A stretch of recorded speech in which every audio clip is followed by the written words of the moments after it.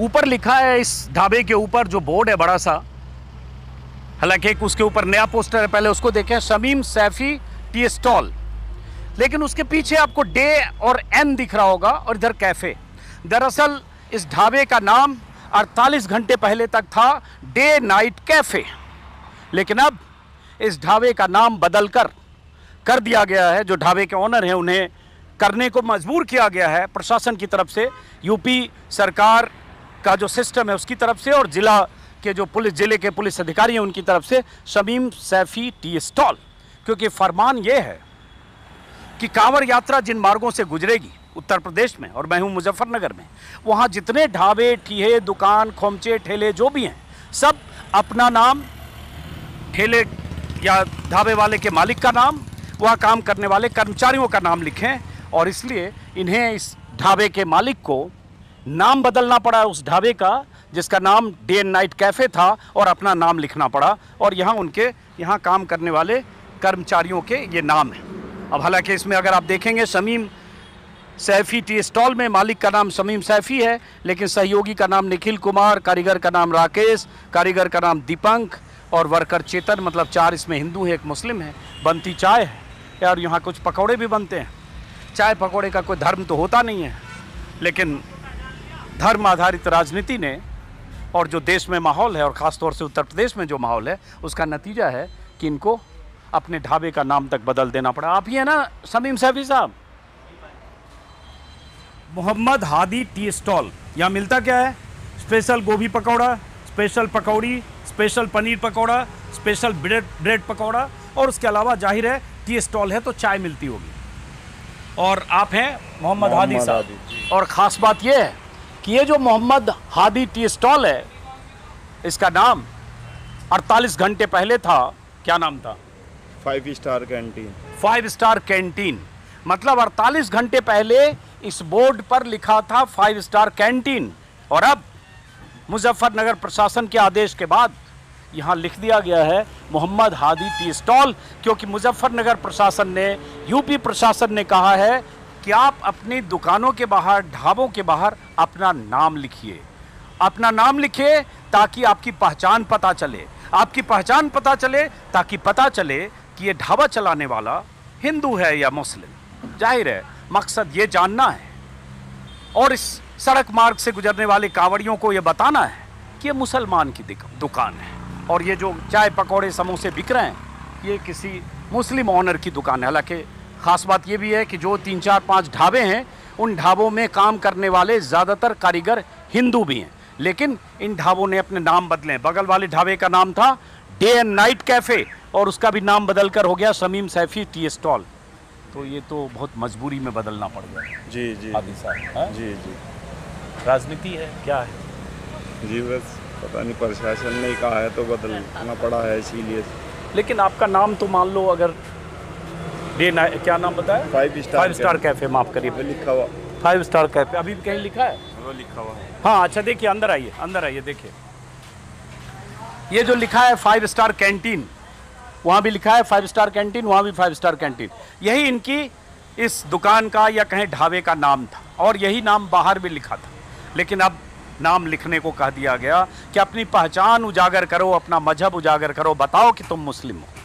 हालाँकि जो सरकारी फरमान है उसमें कहा गया जितने भी दुकान है कांवड़ यात्रा के मार्ग में सब दुकान के मालिक और कर्मचारियों का नाम लिखें लेकिन आप और हम समझते हैं कि मकसद क्या है। क्या जानना चाहती है सरकार? क्या ज, ज, लोगों तक बताना चाहती है सरकार या प्रशासन? ये मकसद हम भी समझ रहे हैं। अब ये ये कहा है कि कितने दिन तक ये लगाना है या अब नाम आप यही रखना नहीं है इन्होंने कहा नाम यही रखना है। अब नाम यही रखना है। जी सावन खत्म भी हो जाए अब आपका नाम यही रहेगा। जी। मतलब नाम हमेशा के लिए बदल गया। जी जी। आपने कुछ सोच के ये रखा होगा? फाइव स्टार कैंटीन अब मोहम्मद हादी कैफ़े हो जी जी। समझ लीजिए क्या हो रहा है। चलिए इधर आइए जरा। आप उधर से आइए उधर से आइए चलिए। ये जैसे बताया आपने पहले भी मैंने बताया शमीम सैफी और ये सब चार जो इनके वर्कर हैं कारीगर हैं सहयोगी हैं सब निखिल राकेश दीपंक चेतन ये सारे इसमें ये चारों कारीगर ये हिंदू हैं। ऊपर शमीम सैफी साहब की दुकान है। ये।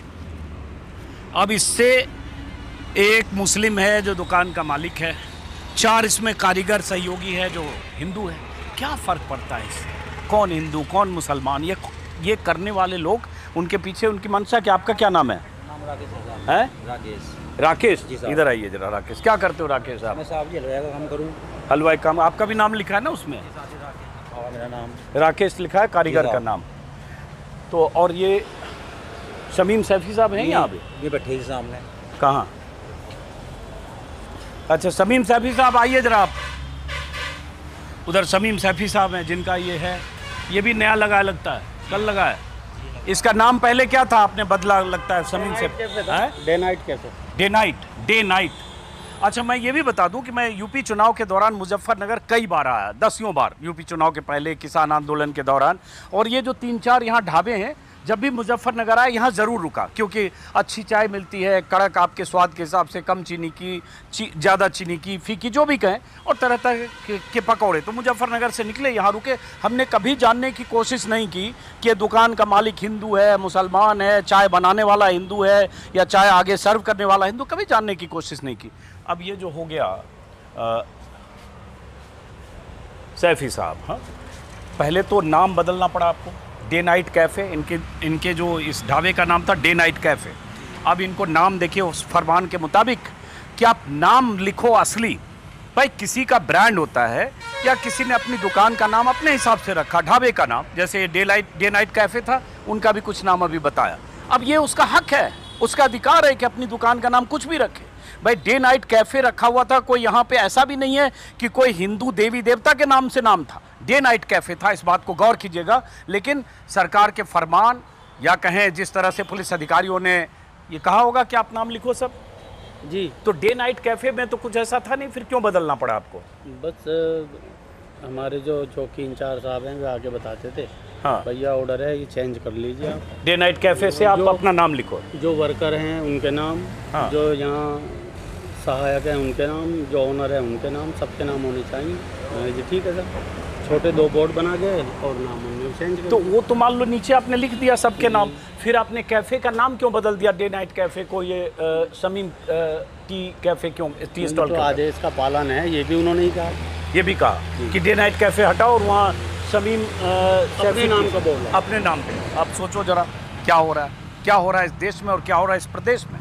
और बात मुजफ्फरनगर से शुरू हुई बात सहारनपुर शामली तक होते हुए अब लखनऊ से फरमान यूपी सरकार की तरफ़ से आ गया योगी सरकार की तरफ़ से और खबर ये आ रही कि उत्तराखंड में भी देहरादून के एसपी एसएसपी ने भी इसी तरह के बयान दिए तो आपके यहाँ तो अभी जैसे वहाँ कांवड़ रखा हुआ है किसी का शायद हाँ? तो आपके यहाँ तो ऐसे जब इधर से गुजरते होंगे कांवड़ यात्रा के दौरान तो लोग आते होंगे? सब आते हैं भीड़ लग जाती है हम मेज कुर्सी सब हटा देते हैं कालीन बिछा देते हैं। हाँ।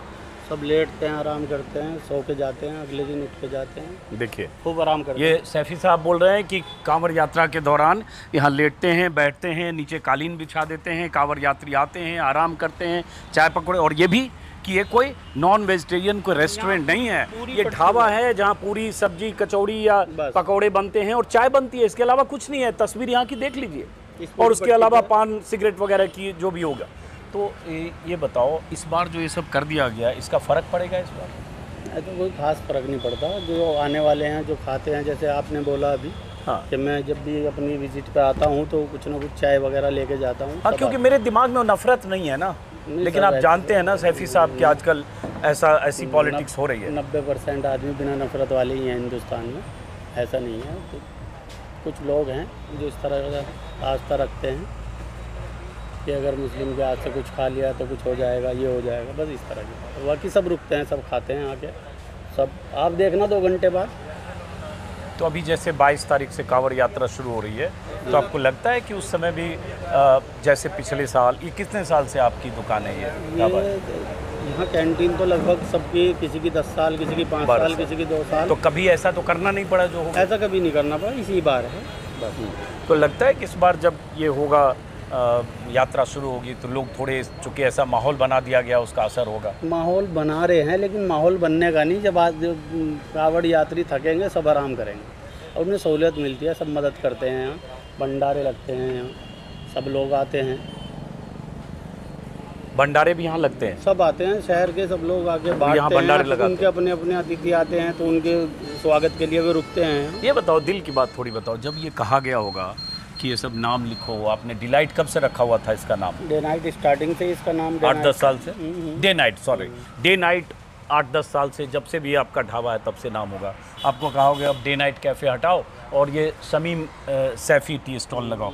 तो या अपने नाम से लगाओ तो थोड़ा बुरा तो लगा होगा कि अपने ढाबे का नाम तक बदलना पड़ गया कुछ सोच के रखा हो नहीं ऐसा कुछ कोई बुरे वाली बात नहीं बस थोड़ी सी बात यह है कि इसकी कोई ख़ास ज़रूरत नहीं थी और उन्होंने फिर भी इसको इस तरीके से लिया जैसे कि ये बहुत ज़रूरी हो गया है। जबकि हमारे हिंदुस्तान में इसकी कोई आवश्यकता नहीं है। सबको पता है इस पट्टी पे चौदह पंद्रह साल से सब यहाँ कोई ब्रेड वगैरह यही है बिल्कुल फास्ट फ़ूड का साधारण खाना है। जिससे कोई भी लोग खा सकता है। चाहे मुस्लिम हो चाहे नॉन मुस्लिम हो सब खा सकते हैं। यहाँ वैसी कोई चीज़ बनती ही नहीं जिसकी वजह से कोई कदम रखने पर ऐतराज़ होता है।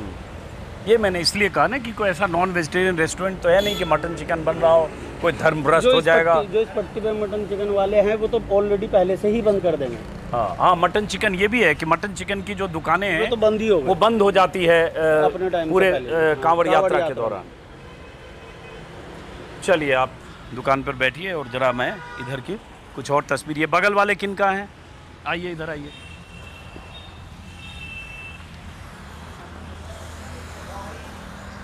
ये बालाजी कैंटीन है।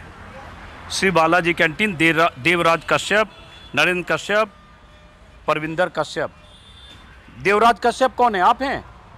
आइए इधर आइए जरा आपसे बात करेंगे। आप ही हैं? मालिक आप ही हैं? इधर आइए ना जरा बात करेंगे आपसे। आइए प्लीज़ बालाजी कैफ़े। अब इन्होंने भी नाम लिखा हुआ देखिए किसी के कांवर के लिए कोई कांवर यात्री ने रखा होगा यहाँ। चूँकि यात्रा शुरू होने वाली है लोग अपने अपने हिसाब से तैयारी कर रहे हैं। ये ये जो कैफ़े का नाम ये सब आपने लिखा है लग, सरकार के प्रशासन के आदेश के बाद? आदेश क्या अनुसार लिखा है। आदेश के अनुसार। तो यहाँ तो जैसे ये जो बगल वाले दो तीन हैं ये तो दस साल से हैं आप लोग भी पड़ोसी हैं? हम पड़ोसी हैं हम पिछले साल खरीदे हमने। आप पिछले साल हाँ बनाए। और वे भी पहले हैं। अच्छा ये भी ये पहले भी हमारे से पहले हैं। तो ये बताओ जी। कि ये लिखा गया सबको लिखना पड़ गया क्या लगता है इसके पीछे क्या इसके पीछे ऐसा है कि किसी को डाउट ना हो कि मोमडन है हिंदू है। इससे ये पता लगता है कबड्डी को भोलो को सब उसे भी भोलने के लिए हाँ। कि हम हमारा अनुमान विष्णु हाँ। तो ये बताओ जैसे आप देवराज जी देवराज का शब्द मान लो ये ब्रेड पकौड़ा है। जी। अब ये ब्रेड पकौड़ा बेसन में बना इसमें ब्रेड है हाँ और जैसे भी तेल में तला आलू भी है। आलू भी होगा। तो ये हिंदू है मुस्लिम है इसका धर्म है इसके अंदर कुछ नहीं पता। नहीं है। इसके अंदर कोई मालूम नहीं किसी को भी मालूम किसी को नहीं मालूम है। और सब आदमी एक ही तरह से बनाता हाँ है। तो फिर ये जो किया जा रहा है कि दुकान के बाहर लिखो कि तुम मुस्लिम हो तुम हिंदू हो खास तौर से मकसद आप भी जानते होंगे कि उनका पर्पस ये है जो मुस्लिम है वो पता चल जाए। हाँ? बस यही है। यही है ना? बस यही है और कुछ नहीं यही है कि जो मुस्लिम है वो सब एक्सपोज हो जाए पता चल जाए दुकान मुस्लिम। हाँ ये उसमें ये भी हुआ कि बहुत सारे लोगों के नाम दुकान का कुछ और था जैसे इन्होंने बताया कि उनकी दुकान का नाम डे नाइट कैफ़े था। हम्म। उधर वाले का भी कुछ और नाम था जिन्होंने मोहम्मद हादी लिखा। उसका हाथी लिखा उसका वो था फाइव स्टार अब फाइव स्टार कैफ़े नाम था। अब बेचारों को सबको नाम बदल के फाइव स्टार को मोहम्मद हादी लिखना पड़ा हाँ और डे नाइट को शमीम सैफी लिखना पड़ा। गलत है ना? नहीं वैसे गलत है ये। हाँ। मगर ये ऐसा है कि भोलों की सुविधा के लिए कोई जहाँ चाहे वहाँ खा सकता है। क्यों सुविधा धर्म के नाम पर या वो मुस्लिम है इसलिए उसका ये धर्म के नाम पे। हाँ। धर्म के नाम हाँ लेकिन देखो देवराज जी अगर ये कोई होता कि नॉन वेजिटेरियन सारे रेस्टोरेंट होते तब बात हुई सब तो ब्रेड पकौड़ा ही बना रहा है? वो तो जो प्रशासन कहेगा हम तो वो करेंगे। सही कह रहे हो आपको नहीं कह हम रहा तो प्रशासन के अनुसार चलेंगे। सही बात बट आपकी राय पूछ रहा हूँ। ये ये आप लोग बगल में कभी लगा कि वो मुसलमान है हम हिंदू हैं? नहीं है ना? बीच में ये सिर्फ़ एक चद्दर है वो उन्होंने करी है। वो उन्होंने जो करी भी है। बीच में यही है ना और तो कुछ और नहीं कुछ है। नहीं। दिल में कोई दीवार दिल तो वही नहीं है खून वही है। खून वही है। बस। तो फिर ये सब सही हो रहा है? बस वो सही को और उसको तो प्रशासन जाने हम क्या जाने इस बारे में?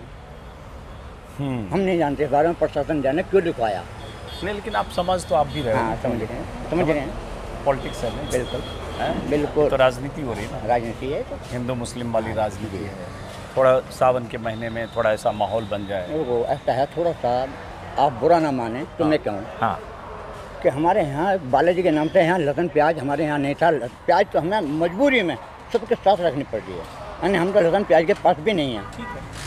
तो वो तो आपकी राय है अपना स्टॉक है अपना अपना टेस्ट है या अपने अपना किसी को लगता है लहसुन प्याज ना खाएँ। कोई लहसुन प्याज खाता है कोई कुछ खाता हाँ, है कोई खाता ही नहीं अपनी अपनी चॉइस है कोई नहीं खाता पूरे जीवन भर। आप अपने वो है। जैन लोग पूरे जीवन भर बहुत चीज़ नहीं हाँ, खाते नहीं खाते और दूसरी बात कि ऐसे भी देखो तो जो इस रूट में सावन के महीने में नॉन वेज की दुकानें तो ऐसे भी बंद कर दी जाती है। हम्म। लेकिन वेज हो चाहे ठेला हो आपको पता होगा कि आम और अमरूद और केला बेचने वाले के ठेले पर भी लिखवा गया है उनको भी कहना पड़ा। उनको तो मुझे मालूम नहीं लिखवाया नहीं लिखवाया कोई। दोनों को सब पे लिखवाया है। चलिए ठीक है। अब हम जरा चलेंगे मुजफ्फरनगर की तरफ़ तरफ़ शहर की तरफ़ जरा शहरी इलाकों में देखेंगे। और जैसा कि मैंने बताया कि सबके नाम इन्हें बदलने पड़े। समझ सकते हैं कि मकसद क्या है। मकसद यह है कि उनकी पहचान अगर वो मुस्लिम हैं, दुकान वाले, ठेले वाले, खोमचे वाले, ढाबे वाले, रेडी वाले तो पता चले ये मुस्लिम हैं, ताकि जो यात्री गुजरे, वो तय करें कि हमें मुस्लिम के यहाँ से नहीं खरीदना है। तो एक तरह से इसके पीछे मंशा ये भी है। मैं बहुत बार पहले वीडियो में बता चुका हूँ, कई बार बीजेपी नेताओं के ऐसे बयान आए हैं, मुसलमानों का सामान मत खरीदो, मुस्लिम का बॉयकॉट करो, बहिष्कार करो, ये सब चीज़ें होती रही है। और अब इस मार्ग से हरिद्वार जाने वाली ये सड़क है, कांवर यात्रा न जाने कब से चल रही है? और ये इसमें से तीन चार दुकानें आठ दस सालों से है। कभी ऐसा नहीं हुआ कि उन्हें इस तरह से नाम लिखना पड़ा, लेकिन लिखना पड़ा है। क्योंकि सरकार चाहती है, योगी जी चाहते हैं कि पता चले कि तुम मुस्लिम हो। चलते हैं अब शहर की तरफ़।